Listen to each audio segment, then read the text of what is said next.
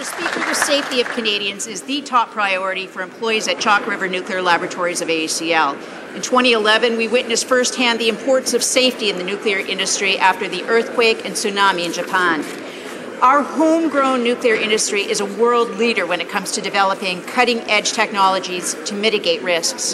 The people of Chalk River Laboratories have developed a technology to absorb hydrogen gas.